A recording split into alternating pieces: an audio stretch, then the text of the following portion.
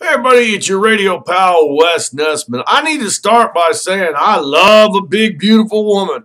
Oh, they're the huggingest, sweetest, lovingest women in the world. There is no doubt. This old dog has got to have a lot of meat on the bone. I've got to say that out front because the topic here is how do you women make your face look skinny on the Facebook? I know you're doing it, and I think there might be witchcraft involved. Because I've seen you on the Facebook where your picture's like this, but then in real life, it's like, well, it's back to normal or whatever. And like I said, I don't mind. I'm just trying to figure out how you do it. And I know a lot of you like contort your head and do all that. And I don't know how you make weird shit like this go away.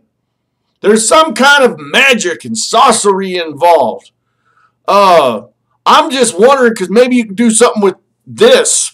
I don't know. Maybe you can help a brother out a little bit. Other than that, ladies, be yourself. We love you just like you are. You guys be awesome to each other.